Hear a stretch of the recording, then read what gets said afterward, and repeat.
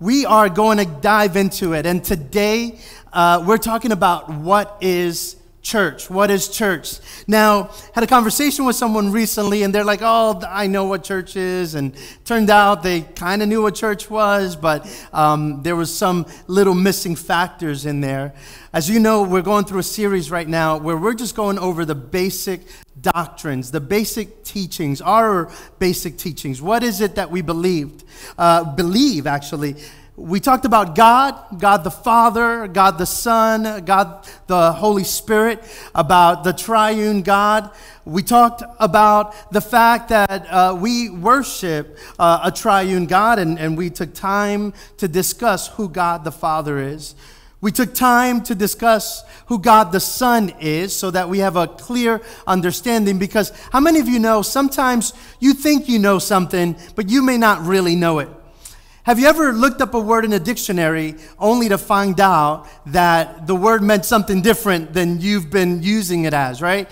So sometimes we think we know who God is. Sometimes we think we know who Jesus the Son is and who the Holy Spirit is. Um, and sometimes we even think we know what church is.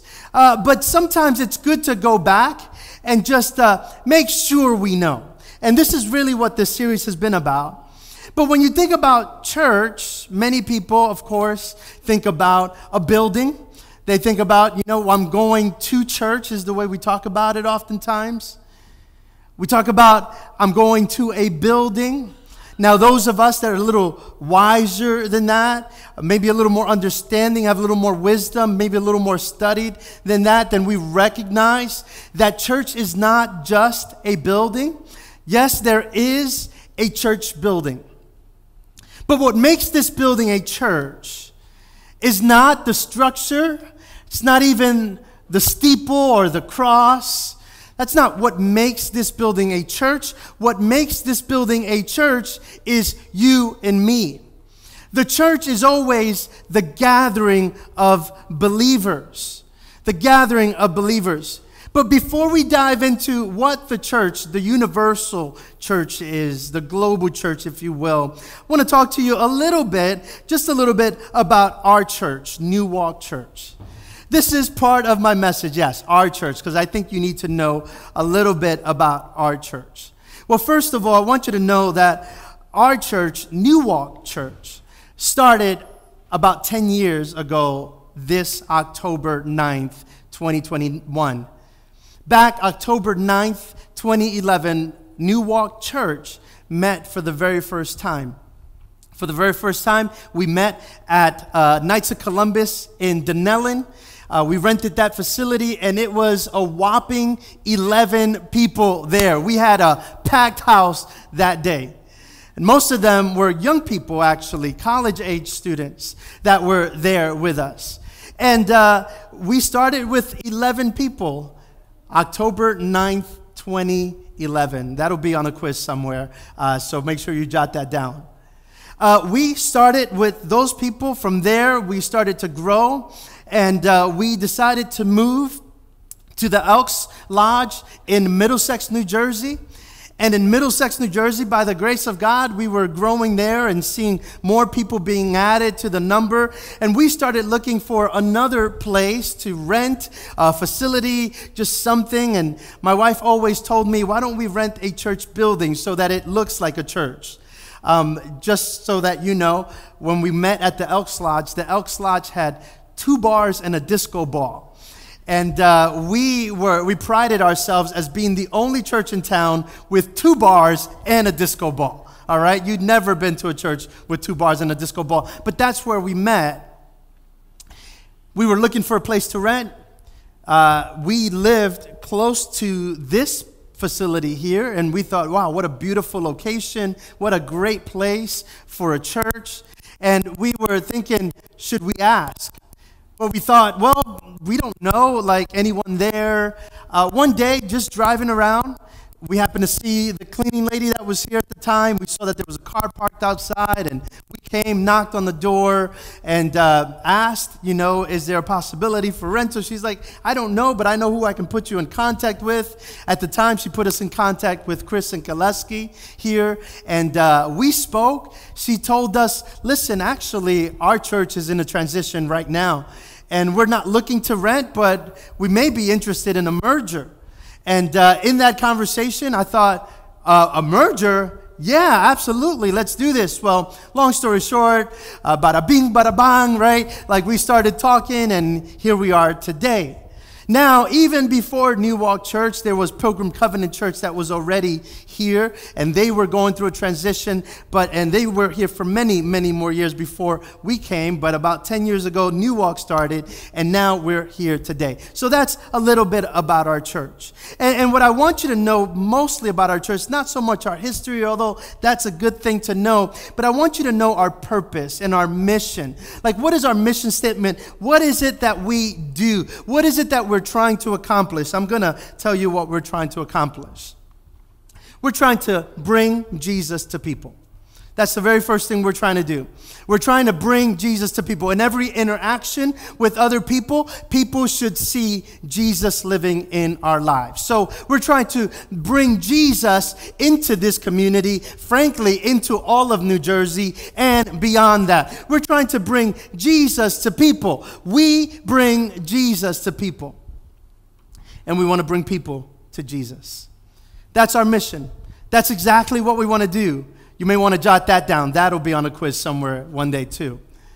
So we bring Jesus to people and we bring people to Jesus. That's a little bit about our church, our local community, where you're sitting today. This is who we are as New Walk Church. But we are a local church. There is something that is called the universal church. Uh, we are the local church, but guess what? We're not the only Christians in this world.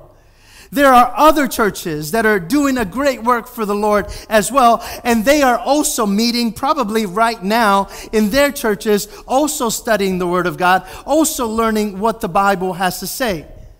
And we believe that we are part of the universal church, the body of believers, people that have all been called out, people that are serving Jesus, that have put their trust in Jesus for salvation. So, good news, we're not the only Christians in the world. That's the good news. Amen? We're not the only ones. And you should know that there's a whole world out there.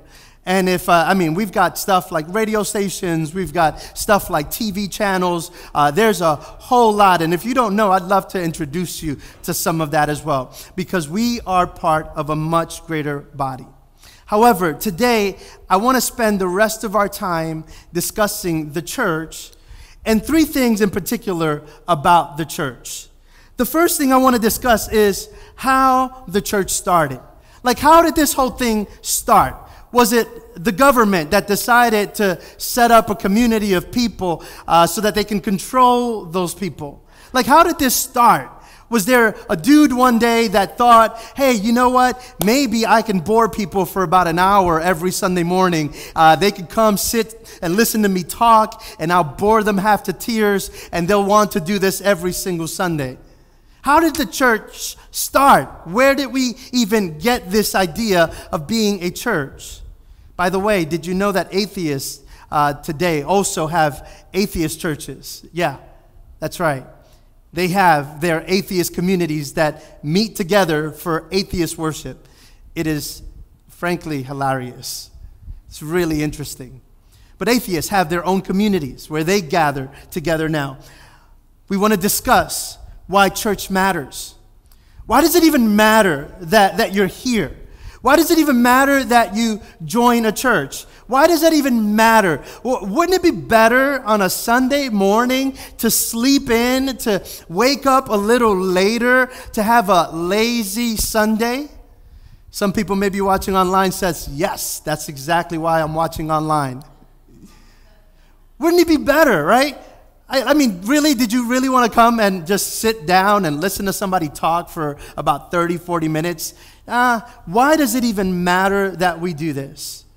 And the third question is this What type of church should you join? Now, some of you that are here, or maybe some of you watching, you're thinking, okay, I'm not part of New Walk. Uh, should I join a church? And if I join a church, what type of church should I join? And maybe when we're done talking about that, uh, you might even consider what church should I leave? Hopefully, no one leaves here, but uh, you might want to say, maybe I'm in the wrong church. Or maybe you're here saying, I don't think our church adds up to what I think uh, a church should be. So let's discuss these three topics. The first one is this How did the church start? Let's go there. Well, the church started 50 days after um, Jesus' ascension to heaven. I'm sorry, after the Passover, not, not the ascension, after the Passover. Uh, the day that we call the day of Pentecost. And I want to read what this looked like, the day of Pentecost.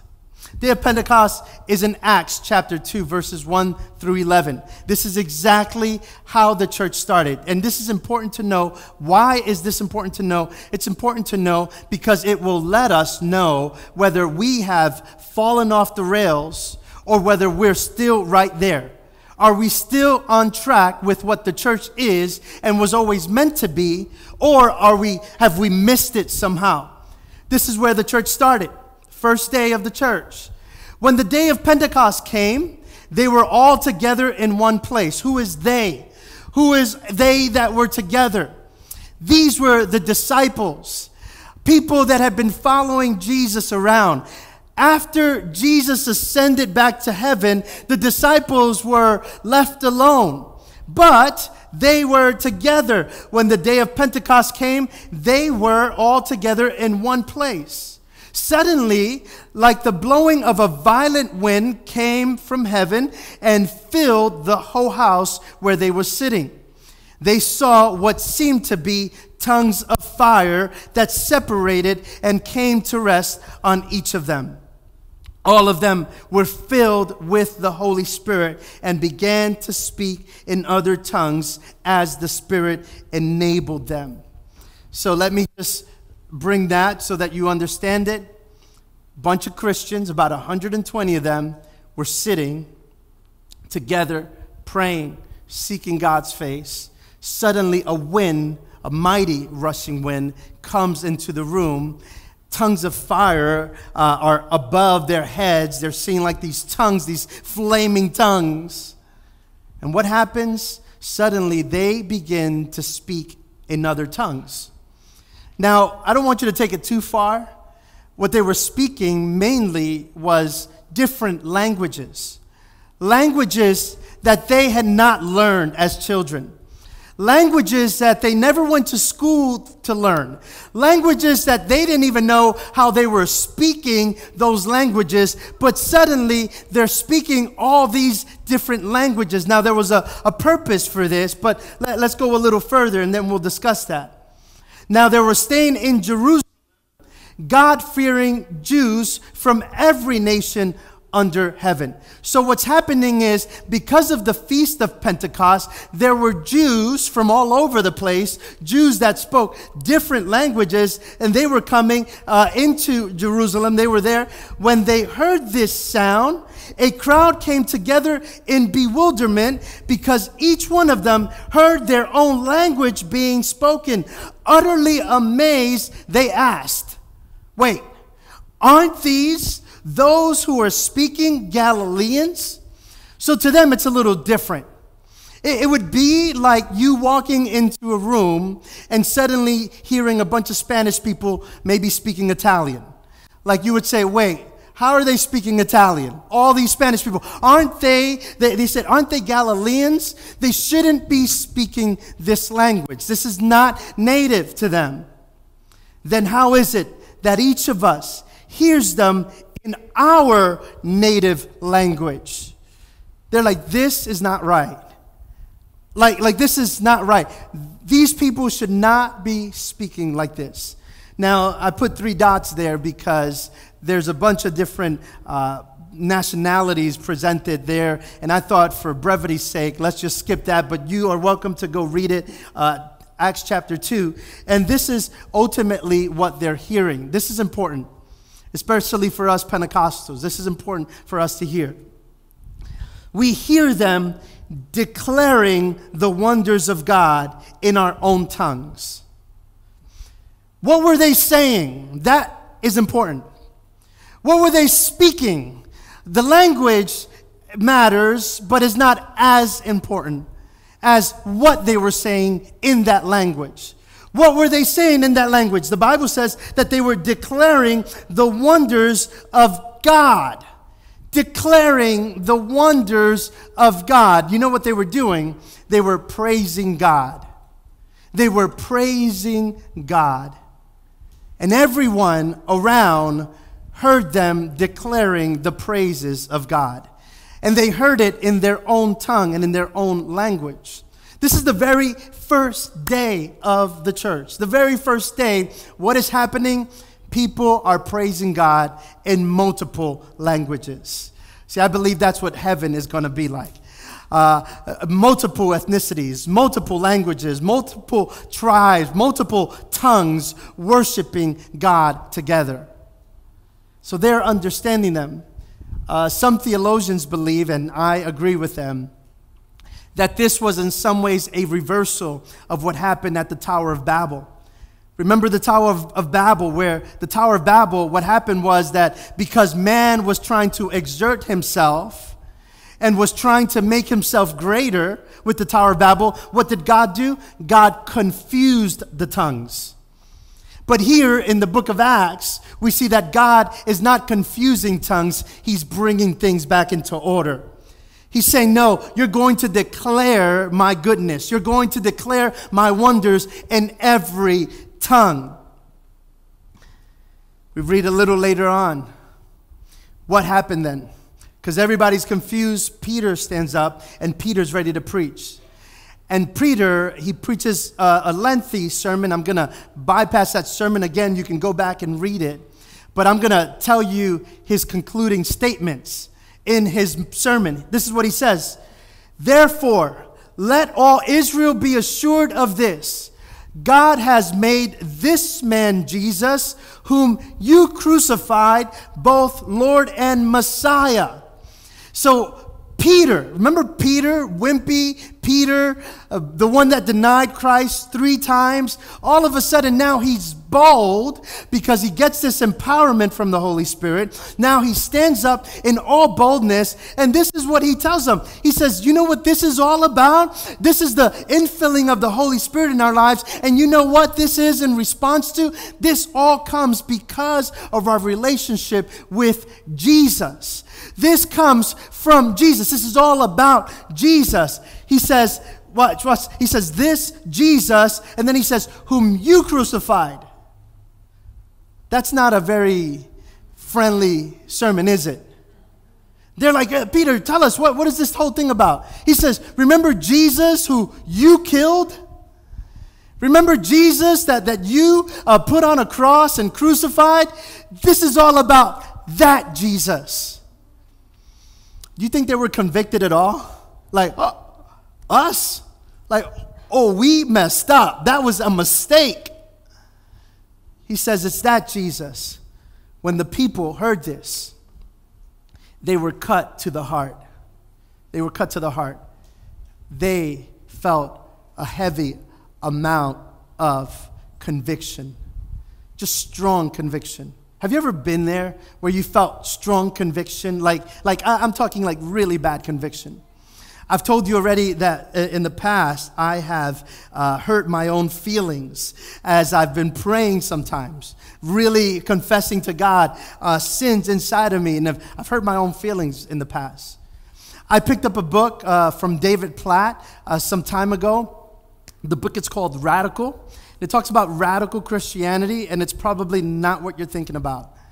But I opened up that book, and in the first few pages, I was so convicted that I had to close the book. Because I knew that what he was saying was so true. But it was, it was so true that it was as if I was in a dark room and somebody all of a sudden turned on really bright lights. And I couldn't take it. And you might say, well, were you a Christian then? Yes, I was a Christian. Were you a pastor then? Yes, I was a pastor then. And I just couldn't take the conviction, and I closed the book. Now, I got back to the book eventually. But sometimes it is important that we get cut to the heart. It is important that we have that conviction. And, and uh, he, they are cut to the heart. And, and Peter says, he says, Brothers, what shall we do? They ask Peter. Peter replies, You know what you do? Now that you feel that conviction, he says, Repent and be baptized, every one of you, in the name of Jesus Christ for the forgiveness of your sins. He says, Repent and be baptized. He, this is the beauty about God that even though he can convict us, he also gives us a way to deal with that conviction. That, that there's a way out. That it's not like he says, You're awful, terrible people period. No. He says, look, maybe you are awful and maybe you are terrible. But let me tell you, it's very easy. All you have to do is repent and be baptized in the name of Jesus. And he says, You'll be saved and you'll receive the gift of the promised Holy Spirit. Later on, and I, I don't have time to go over all of it, uh, that same day, the Bible says that about 3,000 of them committed their lives to Jesus, committed their lives to Jesus. That is when the church started. 3,000 people that day, along with the disciples. And by the way, just so you know, um, I don't think the Bible is like pastors. Uh, pastors, we have a sin that we commit often. Many pastors do this. It's a little bitty sin. I don't think it's a huge sin, but it is a little bitty one, in my opinion. And this is the sin when one pastor asks another pastor, How many people attend your church? Pastors, we tend to round up. If we have 50, it's 100. But the Bible doesn't do that. The Bible tends to be very conservative. The Bible, when Jesus fed 5,000, the Bible doesn't tell us how many women and children were there. The Bible only says 5,000, which means that there were probably more people that received and took part of this miracle. Right here, the Bible says about 3,000. It's my personal opinion that it wasn't under 3,000. It was probably more than 3,000, but the Bible is just being conservative and said about 3,000. I think they rounded down. But that's how the church started, right there, the day of Pentecost. That was day one. Now, Peter, in Matthew chapter 16, uh, Jesus asked him a very important question. He's asking the disciples, Who do people say that I am? Peter gets up.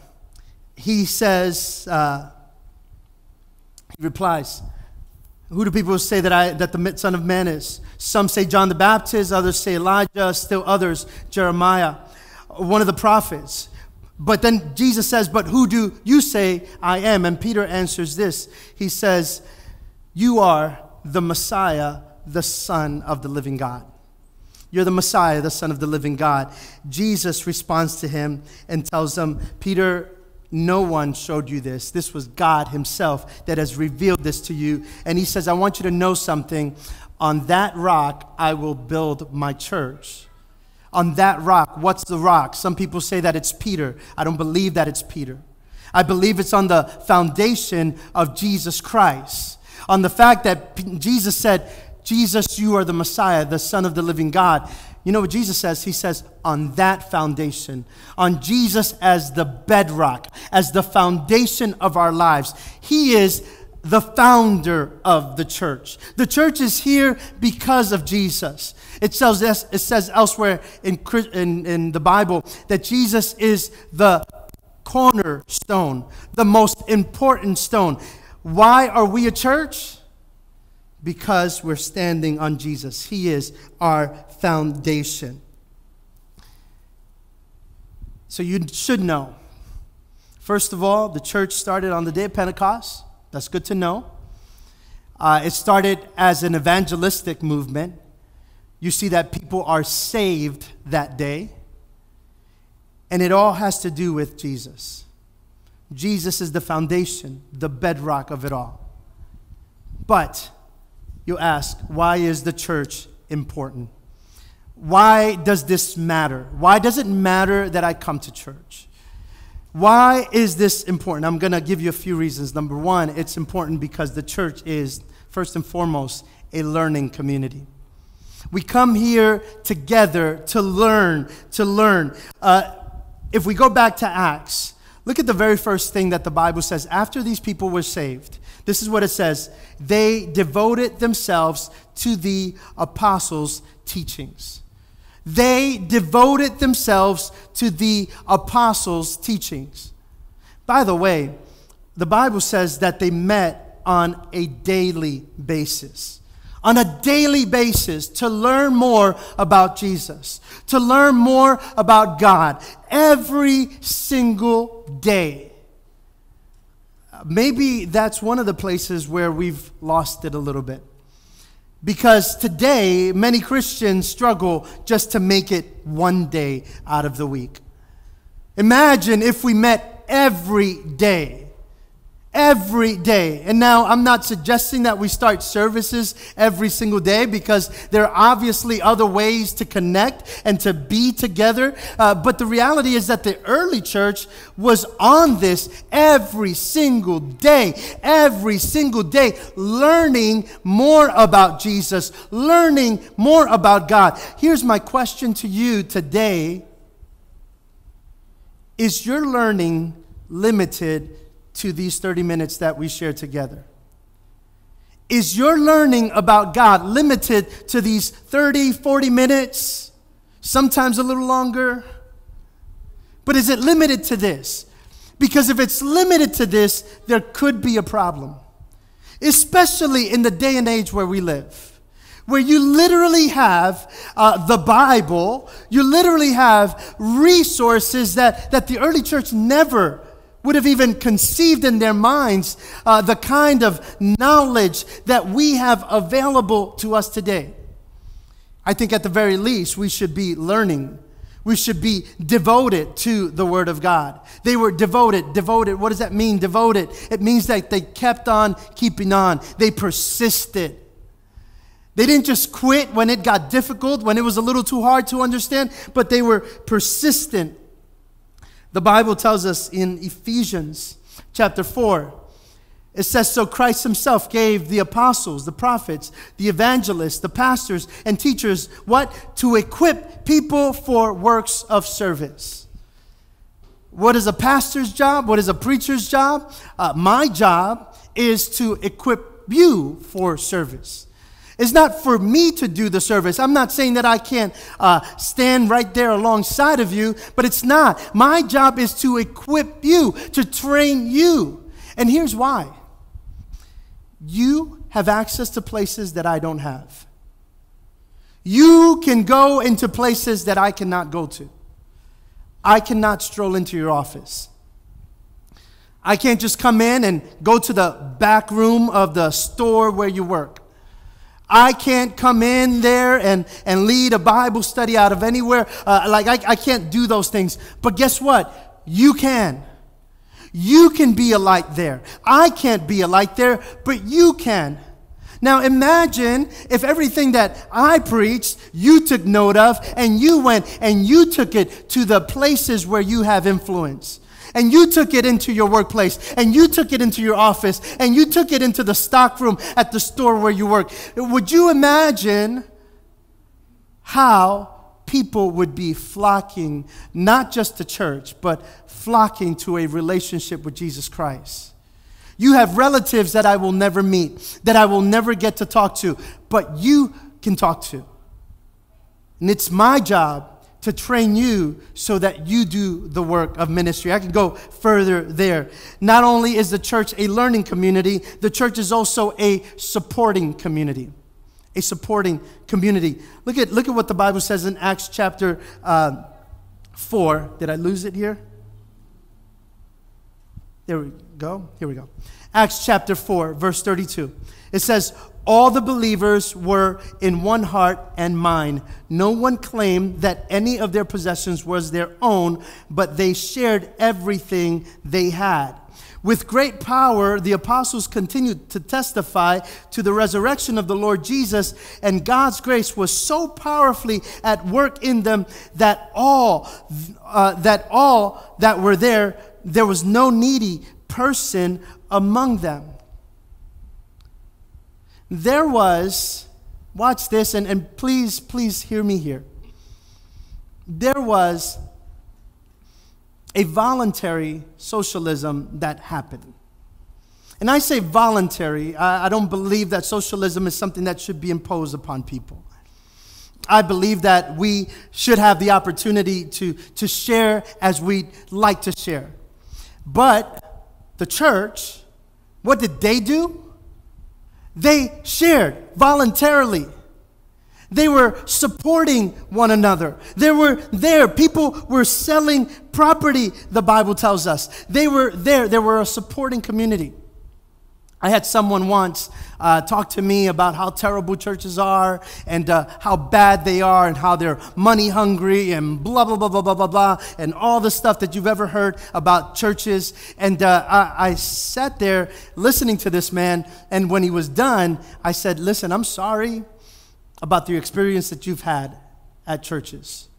I'm sorry that you feel like people have manipulated you and have taken your money and, and uh, all the things that you think that are wrong with the church. I am sorry for that. And I said, but you know, I haven't had that experience. I said, if anything, my church has been a sheltering community. They've been there when I've needed them. When I was hurting, they were there. When I needed, they were there. The, the reality at New Walk Church is that uh, we need to be there for one another. And, and, this is why even the connection, even the making sure that you're on an email list, making sure that you're part of our groups where we meet not just here, but we meet online and we do other things. Being part of those communities matter because this is how we stay in touch with one another. This is how we stay connected to one another. Some of us geographically, we don't live close to one another. So the best way sometimes is through technology, is through a text message, is through a phone call. Uh, it is maybe sometimes through Zoom and a prayer meeting right there. But what's important is that we stay connected to one another, that we're constantly supporting one another. Church, don't let the lights fool you. Church is not a show. We don't come to church so that we can be entertained. Listen, there's nothing wrong with the lights. Obviously, I like lights. Nothing wrong with that. But when that replaces community, then we're in trouble. Because community matters. Being part of the church matters. Not just coming here on a Sunday morning, but being part of the fellowship. This is what was going on in the church. And I, I want to go uh, just a little fa- faster here. One of my favorite texts in the Bible is this Oh, there we go. Galatians 6, verse 10. One of my favorite texts in Scripture. Look at what, what, the, what the church was doing. Therefore, this is what, what they're taught. Paul is teaching the Galatians. He says, Therefore, as we have opportunity, let us do good to all people, especially to those who belong to the family of believers. I challenge you for a moment. I challenge you.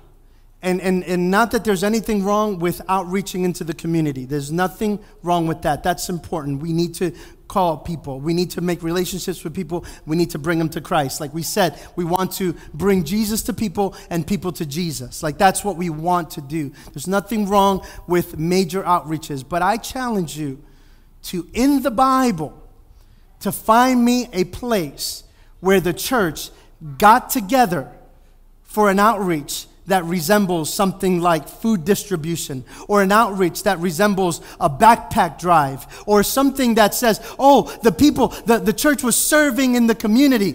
I'm not saying that it's wrong to serve in the community.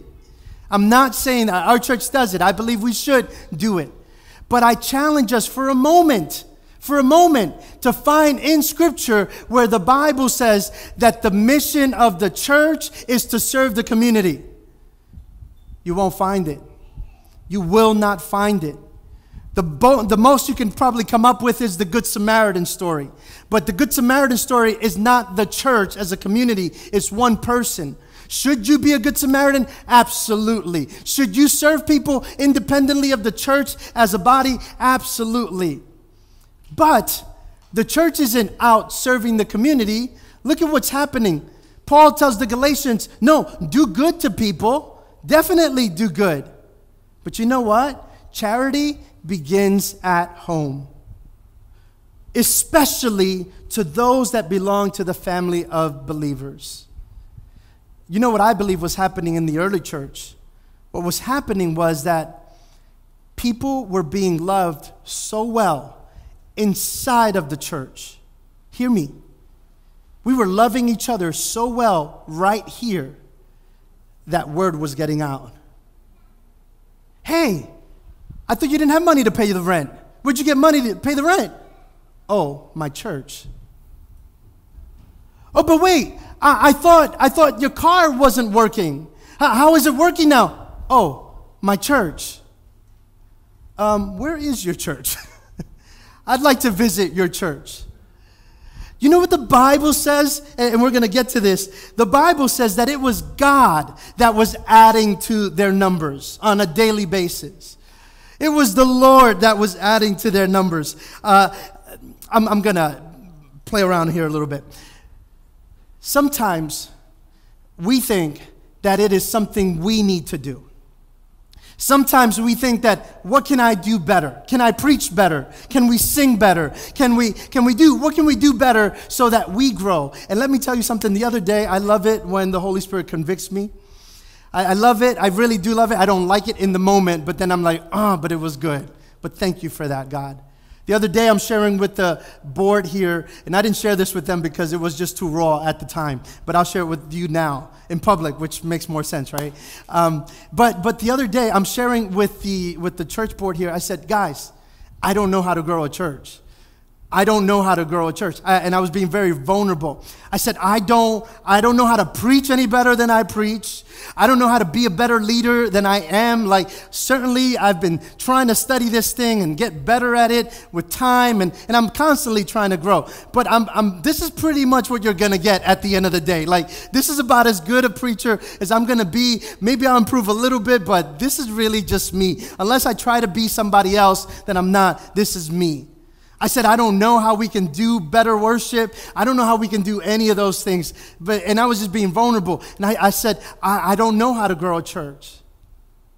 You know what? The Lord spoke to me literally the next morning.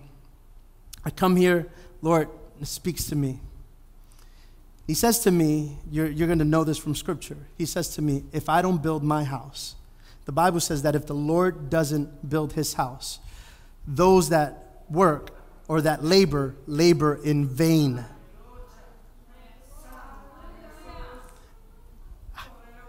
I said, Sorry, I was trying to build the house. And sometimes we think we need to build the house. And sometimes we think we need to make this happen. Guess what? The Lord says, he will make it happen. He will build his house. He knows how to build his house. And if he doesn't build it, uh, that's why that's why prayer is important, by the way. Because if he doesn't build it, then we labor in vain.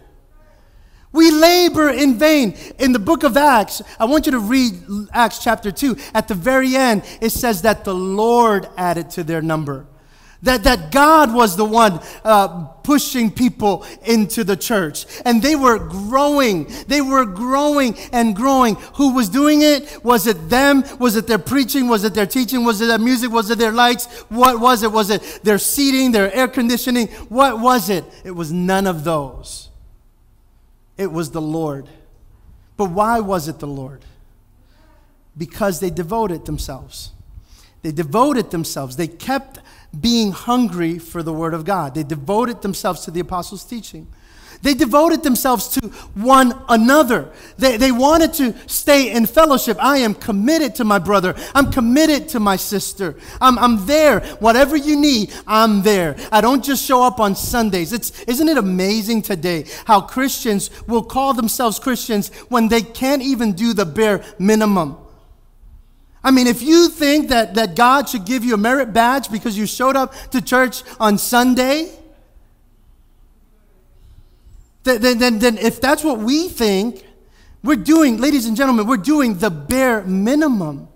That's the least that we could do. That's not devotion.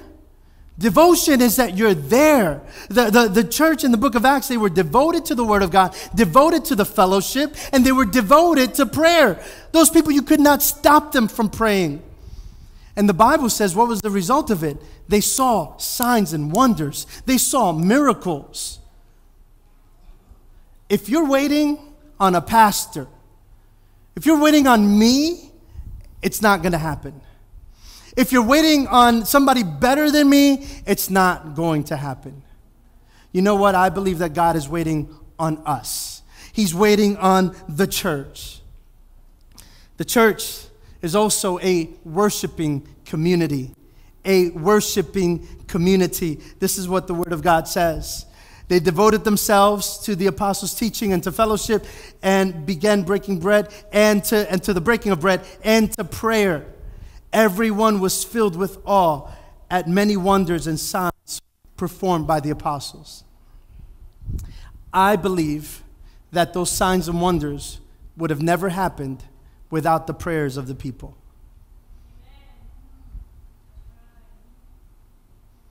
It was the prayers.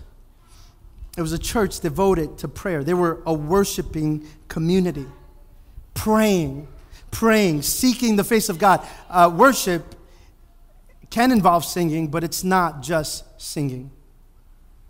Worship is truly just a, a lifestyle. It's how you live your day in and day out. It's how you honor God uh, everywhere you go. It, it's that is worship right there.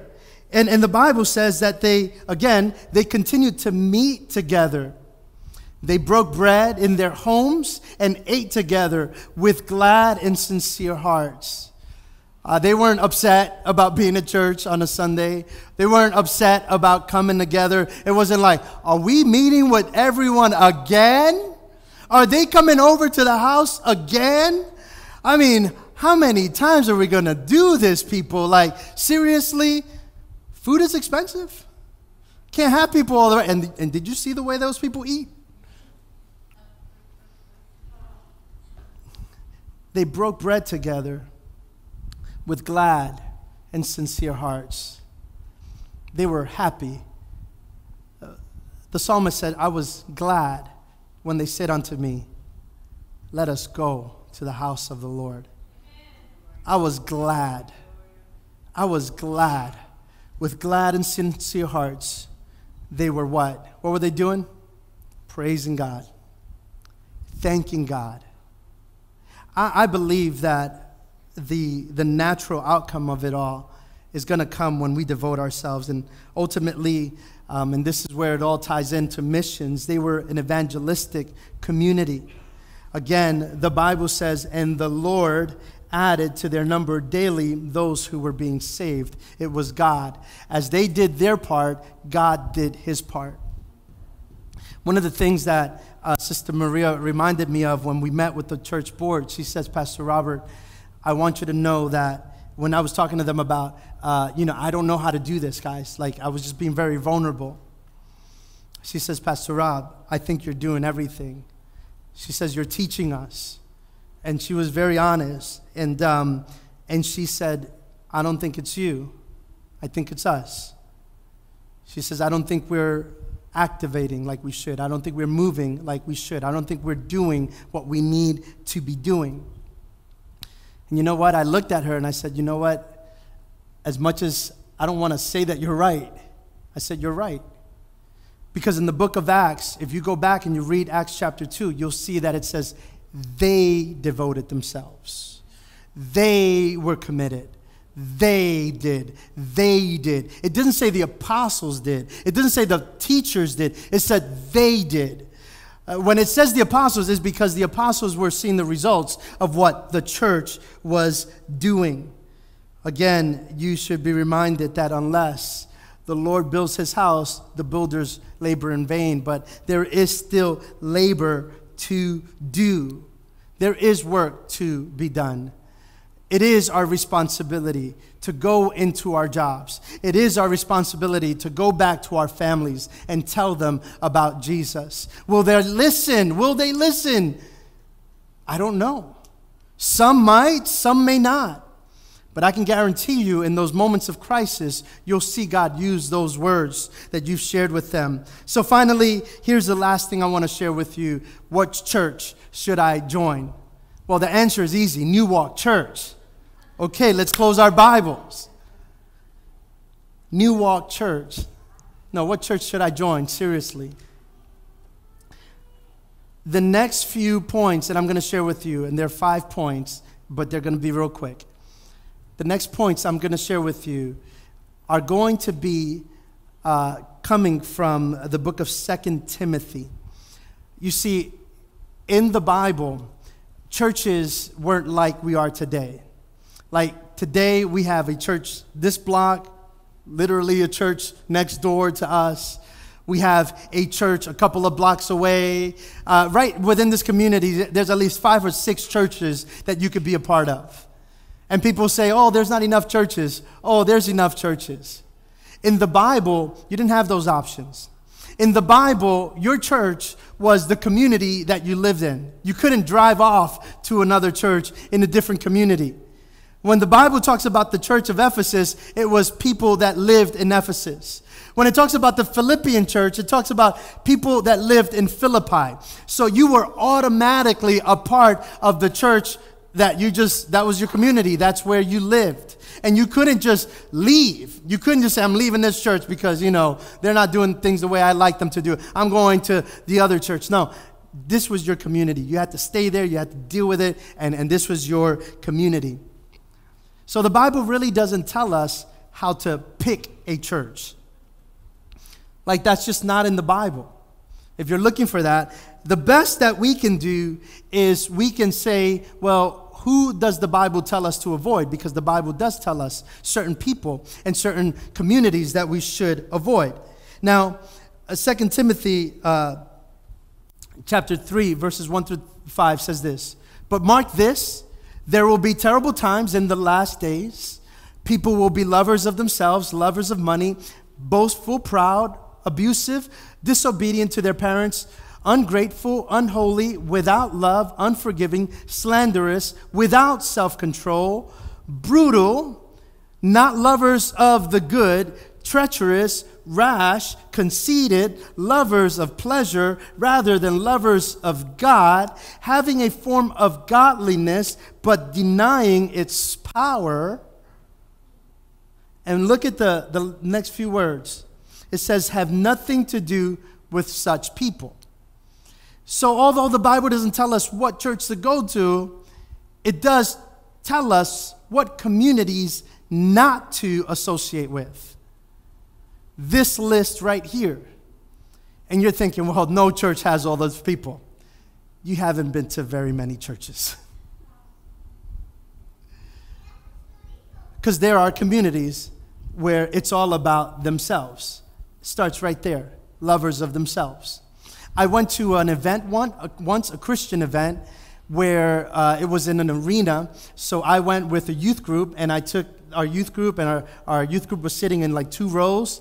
And this couple that was on a date to this event, like, who takes you on a date to a Christian event? But it happens. There was a couple that had a date, and would you believe they started fighting us because some of our teenagers had taken their seats? And it was like, and I'm like, this is a Christian event. Like, and why? I don't get it. But obviously, lovers of themselves. People that, you know, just couldn't take the other seats because those were their seats.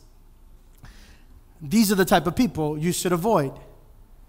And if you go to a church and these are the type of people that you encounter, if you go to a church and, and the messages are very self centered, they're all about you, and it's never about God, but it's always all about how God just wants to bless you. Those churches, by the way, are packed. Because if people sit down and you're going to tell me how God wants to do for me and for me and for me, I'll be back next week for sure because I want to know what else God has for me. Lovers of themselves if these are the messages that are being preached, it's all about how God wants to bless you and everything that He wants to give you and all the little treats and all that good stuff. Then let me tell you, maybe those are the churches that you should avoid. Then he says, For the time will come when people will not put up with sound doctrine. There's going to be a time, there's going to be a time when people aren't going to want the Bible.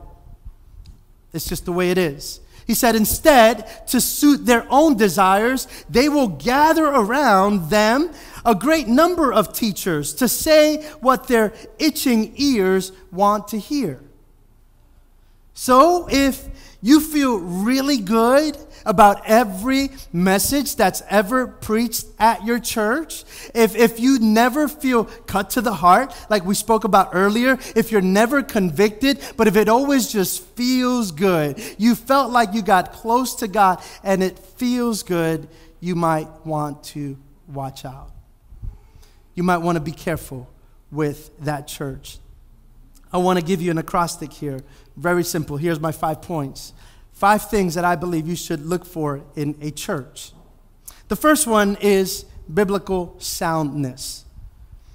I didn't say biblically based churches because a lot of people will take the Bible, open the Bible, read the Bible, and then preach something that's really not in the Bible. They'll just use it as a launching pad. I'm talking about sound doctrine. I'm talking about that you that what you hear from the pulpit is exactly what you read in the Bible. I've told you this before. I used to go to a church where, man, the guy would preach up a storm. I would be so excited to hear him preach, and I would be like, oh my gosh, that is so great. And then I'd go back and read my Bible, and I'm like, huh? This doesn't sound as exciting as what he was preaching. No. Your Bible and your preacher need to sound alike. I'm not here, by the way, to show you things that you can't find in your own Bible. I'm here just to confirm some of what you've already found in your Bible. If I'm not biblically sound, you should leave our church or you should have me leave. But the reality is that you need a church that is biblically sound, good, solid doctrine, things that are going to help you face the storms of your life. Did you notice how many of the prosperity churches that were out there preaching about God's goodness and how much God loves you how much God wants to give you, how they were MIA during 2020? Did you notice how, how you couldn't find them? Did you notice that all of a sudden they weren't talking about how much God wants to bless you, right? Because all they were doing was giving you all the fluff, they, they were giving you all the good stuff. The other day, we ate at a restaurant uh, that we hadn't been to in a while uh, since we moved back from Florida. And uh, we went there, and holy cow, it was so spicy and so salty, but the place was packed. And we realized, well, it's the salt that keeps people coming back, it's that flavor. And some churches are like that. They keep giving you good flavor, but they never give you the stuff that's really going to help you mature and grow. So the first thing you want to look for is a biblically sound church. The second one is a little weird. You want an imperfect church. And you're like, what? What do you mean I want my church to be imperfect? Here's the deal every church is imperfect. I know. I know you're shocked. I'll, I'll let that settle in for a little bit. But every church is imperfect. Reason they Start with imperfect churches. Oftentimes, their leaders are imperfect. I am imperfect. You are imperfect. Imperfect churches. Dr. George Wood, which is the general superintendent, oh, sorry, was the former general superintendent of the Assemblies of God. I heard him while he was speaking once. He said that the, make, the way you make a decision to stay or leave a church, this is, I think is really good. He says the way you make a decision to stay or leave in a church, he says consider the 80 20 rule. If the church is primarily 80% good and 20% could use some help, he says, stay in that church. Stay in that church. 80%. Why? Because you're never going to find the perfect church. You're going to go to another church and you're going to find that they're imperfect. And if you're looking for the perfect church, you're never going to find it. So 80% good, stay there. Now, if it's 80% bad, 20% good, you may need to go. But 80% good, 20% bad. Find yourself a good, imperfect church. Third one is blessing. Find a church that just won't bless you. but a church where you can be a blessing. Find a church where you can be a blessing. There are many, many churches, and I'm going to say this carefully, but in, but in a very loving way. Uh, there are many churches that don't need another one of you. They already have plenty of people like you. There are plenty of churches that don't need another musician. So if you are in a church that needs a musician, stay in that church and be a blessing to that church. There are churches that don't need another usher. They have plenty of ushers. But there are some churches that could use one or two more ushers. There are churches that have phenomenal children's ministries and they do not need someone else that does children's ministry. Go to a church that where they can be a blessing to you, but more importantly, you can be a blessing to them. So important. A church that can that you can be a blessing. A church that is loving. A church where it's obvious that people love God and people love people. And a place where you yourself can also love others. This is perfect, and it goes hand in hand with the imperfect church. Somebody once told me about another Christian. They weren't a believer, and they told, but they knew the way another Christian was acting, and they knew I was a Christian. And they said, You see, it's because of people like that person that I no longer go to church. And my response to that was simple. I said, well, it's because of people like that that I go to church. Because in church is where I get to love them. In church is where I learn to love them. I know they're a little hard to love, but that's where I go and I practice my loving skills. So find a church that is loving and a church where you can also love people. The last one, a church that's engaging. A church that's engaging. Not only are they engaging in the community. And not only are they engaging in promoting the gospel of Jesus Christ, but also, again, a church where your talents can be used, your ministry giftedness can be used. Where are you needed?